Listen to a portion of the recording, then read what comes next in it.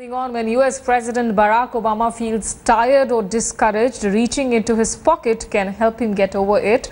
The president spoke about this during an interview with a YouTube personality as an extension of his State of the Union speech. One of his interviewers had asked ahead of time for Obama to bring a meaningful item and talk about it.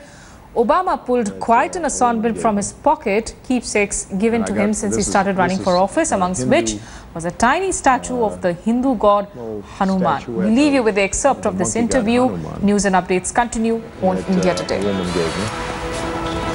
And I got this is this is a Hindu uh, little statuette of, of the monkey god Hanuman that uh, a woman gave me.